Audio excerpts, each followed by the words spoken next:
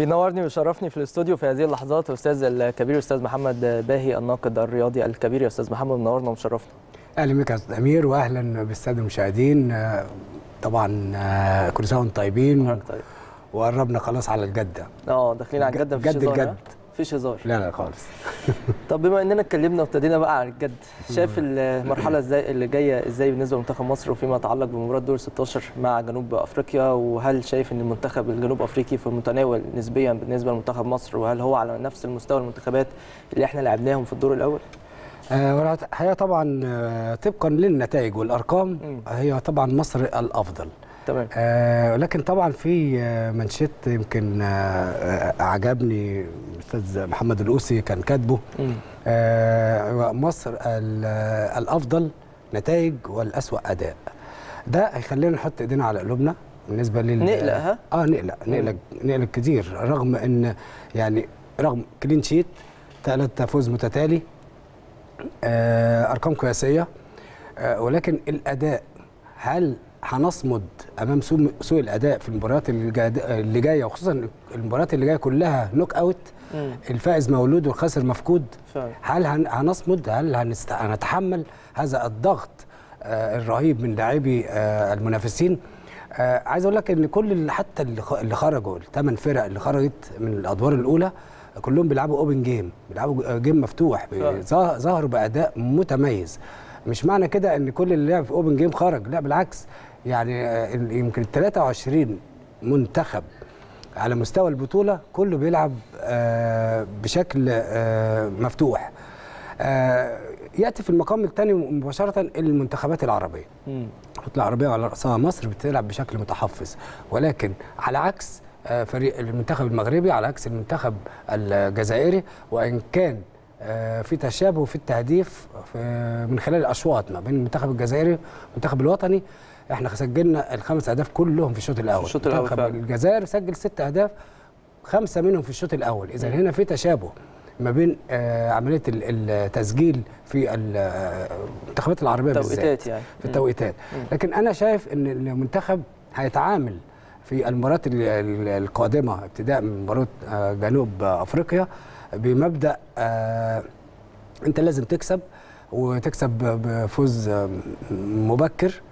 تستغل آه، ضربة البداية وتستغل إن أنت بتسجل في الشوط الأول. كويس. وخصوصا إن أنت آه، لما بتدافع عندك إصرار. عندك إصرار وعزيمة ال- آه، التخطي الدور ال- آه، ما بعد الدور. آه، طبعا مساندة جماهيرية غير مسبوقة مساندة مساندة المسؤولين. وخصوصا إن في مش مش تهديد رسمي أنا بتكلم على تهديد معنوي. إن إن إن الخروج المبكر هيتبعه آه، قرارات مهمة جدا جدا قرارات مصيرية ما نتمناش الخروج المبكر بالظبط وده اللي ده اللي إحنا حتى لو ده اللي إحنا. ما نتأمل آه. يعني أصلا مين هيعوضنا حتى حتى لو في قرارات مصيرية حتى. مفيش حاجة هتعوضنا. عن الخروج المبكر. وكويس إن إحنا عن فقدان اللقب بشكل عام مش الخروج المبكر بس. آه طبعاً. اللقب هو الأهم. آه طبعا. دي حاجة. الحاجة الثانية يمكن اللي مطمنونا شوية بعد ال- بعد الشيء وال- في ال- الوسط ال- الرياضي والشارع الرياضي إن في منتخبات كده في حاجة اسمها الكعب العالي. في حاجة اسمها ان إن فرقة آه كعب عالي على فرقة تانية أو منتخب على منتخب. يعني من من بينها جنوب أفريقيا. إحنا برضو وده ده ما لا يدعو إن إحنا نحط نبقى متفائلين قوي زيادة عن اللزوم. لا إحنا عندنا جنوب أفريقيا عندنا آه في منتخبات كده لما بنحس إن إحنا نلعبها بنحس إن إحنا هنكسب بنتفائل يعني. آه زي جنوب أفريقيا الكاميرون آه كوت ديفوار آه لكن تعبنا عالي عليهم شوية. آه بالظبط. بس ده مش بيبقى مقياس طبعا. لا ما نتكلمش على آه. المقياس. لا بس بيديك بعض من الثقة وانت فعلا. وانت محتاج الثقة في... في هذا التوقيت بالذات يعني. أما جنوب أفريقيا يمكن آه مش في حالتها ال- المعتادة المعروف عنها مم. في الفترة ال... ال... ال- السابقة يعني. آه جنوب أفريقيا دايما بيعلى رتمها وبيعلى آه أدائها مع الأدوار التالية. وده وده برضو اللي يقلقك بعض الشيء واللي مش يخوفك اللي يقلقك بعض الشيء أو تعمل له حساب إن الفرقة دي مع الأدوار التالية بتكون خدت على ال- الجو على الجو الكروي على المناخ على إن بيبقى فيه انسجام أكتر. وخصوصا إن هم برضو متجمعين آه، بشكل متأخر. ما عملوش معسكر آه، طويل المدى. ما ما تجمعوش بقالهم فترة كبيرة. ويمكن المباريات هي اللي ساعدتهم على إن يت- يتعمل آه، منتخب منسجم مع الوقت. لا أنا شايف إن شاء الله مصر قادرة على تخطي هذا الدور. وإن شاء الله آه، نتخطى الدور بعد الدور. حتى نصل للنهائي بإذن مطلوب الله. إيه من منتخب مصر؟ في ظل الانتقادات المنطقية خلينا نأكد إن هي انتقادات فعلا منطقية على المنتخب الوطني المصري فيما يتعلق بالأداء بالتحديد. آه النتائج كويسة الأرقام كويسة لكن الأداء هو علامات استفهام كتيرة جدا على آه، أداء منتخب مصر. إيه المطلوب بقى المرحلة اللي جاية عشان يتم تعديل هذا الأداء ويظهر المنتخب المصري بالشكل اللي بيتوقعه بيتمناه كل فرد ومواطن مصري بيتابع البطولة؟ آه. طبعا أول حاجة التركيز. كويس. عم التركيز آه، مهم جدا جدا. تركيز في إنك أنت تنفذ خطة ال- الجهاز الفني. امم آه سواء هتلعب بقى آه مستغل ضربة البداية وال- والضغط العالي من بداية المباراة. أو هتلعب آه، متحفظ أو هتلعب zone defense وهكذا. مم. المهم إنك أنت تركز قوي في في خطة في خطة المدرب. في تنفيذها يعني. في تنفيذها. لازم يكون اولا الجو العام للمعسكر لازم تهيئ كل مناحي التركيز في المعسكر كويس. كل ما يدعو إلى التشوش التشويش وعدم التركيز لابد من طرده تماما. لابد من إدارة ال- المنتخب إنها تمنع أي آه، شخص دخيل آه، إن هو يخش على ال- المعسكر أو على اللعيبة أو بس حوارات امبارح كان في في نجوم قدامى مع المنتخب مع لاعبي المنتخب وتصوروا معاهم وكده يعني ما- أنت ضد الكلام ده؟ لا أنا أنا أنا ضده لو آه، لو لو أنت مثلا عندك آه، المباراة بعد آه، 24 ساعة أو 48 تمام ساعة لكن بصراحه عادي امبارح آه، يعني عادي لكن بصراحة. أنا شايف لا الموضوع لسه فعلا. يعني أنت لسه قدامك المباراة لسه يوم السبت الجاي. فأنا أنا بطلب من من النهارده معلش مهما كان بقى يعني آه خلاص ال- ال- القيادة الإدارية موجودة قيادة المنتخب موجودة وزير الشباب موجود الناس كلها موجودة اللي هي على رأس القيادة الرياضية. كويس. ما ينفعش بقى إن إحنا آه لا ندخل جمهور ولا حتى لعيبة ولا حتى مشاهير. كويس. آه اللعيبة عارفة كويس قوي دورها. اللعيبة عارفة إن هي إن هو على المحك. يعني هو بشكل شخصي كل لاعب دلوقتي ليه ثقله في الموازين الرياضية. طبعا. وكل واحد عاي- عايز يبقى يعلو. يعني انت انت عندك محمد صلاح مم. 185 و2 من عشرة آه مليون يورو. بالظبط. آه عندك آه, أغلى لاعب في أفريقيا محمد صلاح. آه يعني في الثاني على طول ساديو ماني. لو جيت لبقيه لعيبة منتخب مصر ما برضه في مصنفين. في محمد النني في آه، أحمد آه، محمدي في في آه، حجازي كل دول مصنف طبعاً. لهم طموحات إن هم يروحوا يمكن يمكن أحمد حجازي معلش يمكن رغم إن هو بيلعب في ال- الدرجة الثانية. شامبيونشيب آه. ف لكن عنده تطلعات طبعاً. يلعب في المستويات الأعلى أكيد. الأعلى وأنت كفاية إن أنت عندك أربعة من منتخب أفريقيا حتى الآن في مع نهاية. في التشكيل. الأمثل فدي برضو بيدي لك مسؤولية كبيرة مسؤولية كبيرة جدا تحافظ عليها مسؤولية قدام جماهيرك قدام ال 75 ألف متفرج قدام ال 100 مليون أمام الشاشات الصغيرة آه، آه، ال- ال- الجميل ان ان إن حتى المشاهدين بيبقوا في في تجمعات في تجمعات كبيرة النهارده وزير الشباب بيفتح مراكز الشباب فعلا. كلها. عندك الأندية كلها موجودة الأعضاء كلهم بيلتفوا حول آه، مصر واسم مصر مم. النهارده في أقل تجمع لا يقل عن 5000 آه، مشاهد ومتابع في أقل تجمع. آه، الناس دي كلها حاسة الجهاز الفني حاسس اللعيبة حاسة بهذا آه، الأمر.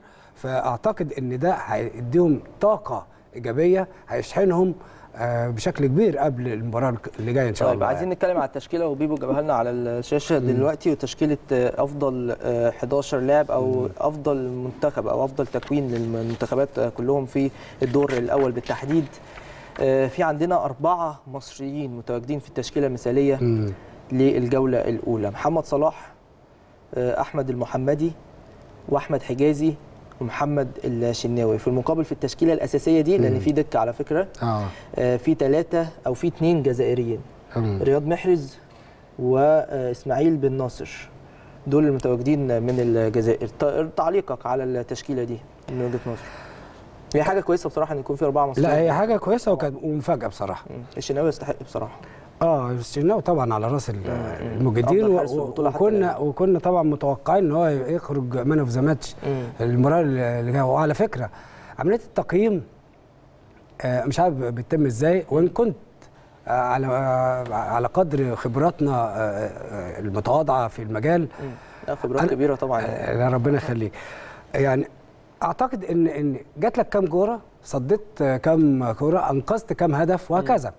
بالنسبة للاعب جات له كام كورة؟ تسليم والتسلم تمريرات المقطوعة تمريرات الصحيحة كل ده بيتم على على هذا القياس سجلت ولا ما سجلتش؟ آه، إحنا بالورقة والقلم كده أما حسبناها لقينا محمد الشناوي. يخرج. آه إزاي آه، حصل حد تاني إنه ياخد man of the match مش إشكال المهم هو يقال. إن تم سحب هذه الجائزه أو كان في استقرار على الشناوي هو أحسن لعيب في المباراة الأخيرة أمام أوغندا.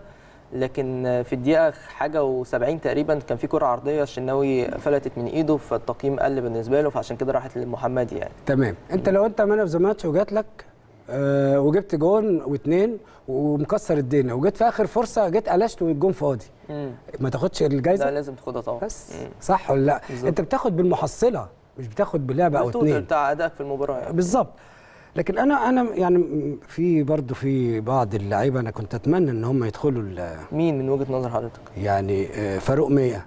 فاروميه طبعا لعيب كبير قوي. آه أنا مش عارف أوغندا. مش عارف ليه هو مش محطوط في. مش عارف. برضو دي من ضمن ال- الحاجات ال- ال- المثيرة لل- لل- للاستغراب يعني. آه، هل هو في حد أفضل منه؟ لأن ده آه، منتخب أوغندا صعد بمجهود هذا اللاعب. الحقيقة. طبعا. أكبر نسبة تمريرات صحيحة من فاروق 100 أكبر نسبة كور ثابتة ملعوبة مؤثرة. فعلا. أكبر نسبة اسيست عندهم اللاعب رقم 22 كمان مميز قوي مش فاكر اسمه إيه بس لعيب مميز آه، جدا. فدي برضو يدعو إلى ال- الدهشة شوية يعني. يمكن آه، آه، ساديو ماني برضو موجود ولكن غريبة شوية بصراحة آه برضو هو جاب هدفين شوف على آه العكس بقى. آه يعني جاب هدفين آه. في المباراة الأخيرة وكل حاجة بس مش هو ده ساديو ماني برضه. وأهدر ركلة جزاء وكان غايب عن غريبة. المباراة الأولى بسبب الإيقاف آه. وأهدر ركلة جزاء فهي برضه غريبة ف بصراحه آه، يعني محمد صلاح برضه عشان نبقى منطقيين يعني مش هو الطب دلوقتي محمد صلاح يعني مش في قمة مستواه عشان يكون متواجد في التشكيلة المثالية يعني بالظبط بالظبط آه آه، لا آه، يعني رغم ان إن إحنا كنا مستغربين إن في لعيبة كانت لازم تدخل هذا المنتخب إلا إن في برضو لعيبة آه، عليهم علامات استفهام. آه، المستوى مش عارف ليه المستوى متراجع شوية. يمكن المجهود الكبير اللي بذلوه خصوصا محمد صلاح وساديو ماني. هل المجهود الكبير اللي شاركوا فيه مع ليفربول هل ضغوط ال- المباريات المتلاحقة هل هل وهل آه، علامات استفهام كثيره هتبين هتبان كمان في المباريات. اللي جاية. أتمنى ان إن عملية الاختيار المقاييس الفنية تكون دقيقة شوية في المباريات اللي جاية خصوصا كمان أنت هيدخل لك ال- الفار الفار هيبدأ من دور. الثمانيه هيبدأ من دور الثمانيه آه أنا طبعا يعني من ساعة الفار ده ما اتعمل وأنا ضد موضوع الفار بصراحة. ضده؟ أنا ضده. مع إنه بيحاول يقلل من الأخطاء التحكيمية نسبيا حتى لا، يعني. يعني نشوف كوارث بصراحة معلش. أستاذ محمد أنت يعني يعني هو في افدح وأفظع من هدف مارادونا؟ لا مفيش طبعا. في أكتر من كده؟ وخلاص وكأس العالم والناس لا كملوا الم- المباراة. والدنيا وهتفضل تتكلم عن الخطأ ده مدى الحياة مم. هو دي كرة القدم هي دي متعة كرة القدم مم. هو ليه ليه بيقللوا بيحاولوا يدخلوا التكنولوجيا فيها عشان تقلل الخسائر المادية مم. مش الخسائر الفنية المادية. المادية طبعا آه. ليه انت كفريق هتوصل للنهائي مثلا ويضيعك ركلة جزاء مثلا ظالمة من حكم مم. انت كان ممكن تستحق مثلا 5 مليون دولار اللي هو الجائزه الأولى. بقيت انت خدت 3 ونص مثلا مليون انت خسرت مليون ونص ماديا مم. صح مم. قس على ذلك البطولات كلها بقى سواء بطولات محلية أو دولية أو أو لكن كفنيا أنا مش شايف أنا شايف المتعة المتعة قالت إنك أنت توقف المباراه وتعمل كده وتستنى وإيه وفي إيه و... بس أقول لحضرتك على حاجة دي- هي فيها برضو جزء من المتعة لو نفتكر في ال Champions League مثلا مباراة توتنهام ومانشستر سيتي. ولما مانشستر سيتي جابوا جون الفوز والصعود لدور نصف النهائي على ما أتذكر في هذا التوقيت والحكم حسبه بعد كده الفار بلغوا إن الكرة مش جون مع آه. نهاية الماتش آه. الفرحة اتنقلت من هنا من مانشستر سيتي الإثارة. لتوتنهام. دي قمه الإثارة. والمتعه برضو يعني. هي بتحقق العدالة. امم بالظبط. آه، في الآخر آه، بس كرة القدم مش عادلة. آه، أنا بقول لك دي هي طول عمرها ظالمة. أنا بقول لك. ما بيقول لك المستديرة الغدارة. مم. صح ولا لأ؟ صح. طب خلاص أنت هتلغي بقى كلمة الغدارة وتلغي كلمة بيحاولوا يخلوها. عادلة شوية. بس هو كان الأهم إن إن الفار يطبق على مدار البطولة بشكل كامل مش أدوار المفروض ما معينة. يبقاش جزء وجزء بالظبط. لأن كان ممكن فعلا يعني فرقة على المحك. يعني مثلا أنت عندك كينيا أفضل فرقة خرجت والفريق الوحيد من الثمان فرق اللي سا... اللي فاز مم، فعلا. الوحيد. ف- ويعني كان ممكن يخش مكان فرقة تاني لو لو في مثلا فار أو كده. لكن أنا بقول لك هي متعة كرة القدم ستظل دائما. طبعا. هي هي لعبة جدلية. لا غير لعبة التنس والطايرة والحاجات دي كلها اللي بتعتمد على الخطوط. إنها ت- تلمس الخط أو ما تلمس ما هم لعبة التنس على الجواب إيه؟ إن ال- بالجرس. لما تلمس. بره ال- ال- ال- الخط تعمل جرس. مفيش فار بقى ولا كلام من ده. في ساعتها في لحظتها. في بص في جزء من الثانية. مفيش إنك توقف وتروح وتتفرج وتوقف متعة الجماهير. طيب حضرتك في دور ال 16 مباراة مصر وجنوب أفريقيا هل حضرتك مع تعديلات في تشكيل منتخب مصر ولا شايف إن المنتخب بيلعب بنفس التشكيل اللي لعب بيه الثلاث ماتشات؟ لا هو طبعا هو التشكيل اتغير في المباراة الأخيرة. المباراة الأخيرة بس يعني بس التشكيل الأساسي معروف. أول ماتشين معروف. آه، هو اتلعب بالتشكيل الأساسي. أنا مع مع نفس التشكيل اللي مع- لعب فيه. المباراتين الأولى والثانية. كويس. وخصوصا ب- ما يتغيرش. هو ده نفس يتغيرش. التشكيل. مم. حتى في؟ ظل بعض الاقتراحات اللي بتقول إن عمرو وردة يبتدي على حساب عبد الله السعيد اللي بسبب سوء مستواه الفترة دي. لا أصل زي ما قلت لك إن إن المباراة اللي جاية مباراة ما نقصهاش على لا تقصها خالص على المباريات الثلاثة اللي فاتت. أكيد. أنت مهما غيرت يعني أنت لو غيرت في ال- في التشكيل هيبقى في نسبة اهتزاز نسبي في المستوى. مم. وخصوصا إن أنت ليد في مباراة جنوب أفريقيا أنت هيبقى ليك ال- الأفضلية من بداية المباراة. إن شاء الله المفروض بإذن الله. لا الأفضلية الفنية أنا بتكلم عن. الأفضلية الفنية إنك أنت في البداية لأن هم جنوب أفريقيا هيبقى متحفظ شوية. انت ليك ال- ال- الافضلية في ال- الاستحواذ انت اعلى نسبة آه، استحواذ انت والمغرب وال- والجزائر بالظبط. بس آه، يعني أنا برضه لو تطرقنا لعملية ال- ال- التحليل الرقمي مم. هنلاقي المغرب افضل تحليل رقمي افضل. آه يليك الجزائر آه ثم مصر يعني انت لو لو بصيت التحليل الرقمي بالذات يعني. آه، هتلاقي الاستحواذ المغرب 60% مم. هتلاقي التمريرات صحيحة 1052 بص معدلات كبيرة جدا. قوي في الحقيقة. آه، محاو- محاولات على المرمى 38 فرق عن اللي بعديه. 39 آه، مراوغات صحيحه صحيحة. بص بقى يعني إيه مراوغات صحيحة؟ يعني فروق فردية. مم. مم. بين اللعيبة صح؟ صح. آه، محاولات تمرير تسليم والتسلم. لا يبقى. يبقى محاولات جماعية. التسليم والتسلم دي انتشار و... آه، وإنك تا- تاخد مكان صح. سواء معاك بالكورة أو مع... مش معاك الكورة اذا هنا تقدر تحلل المنتخب ده إنه منتخب شبه متكامل مش عايز أقول متكامل شبه متكامل. آه، من الناحيه الجماعية وهو الاستحواذ والانتشار والتمرير والتسلم اللي هو التسليم والتسلم ومن الناحيه الفردية من حيث المراوغات والحلول الفردية عند اللاعبين. تمام.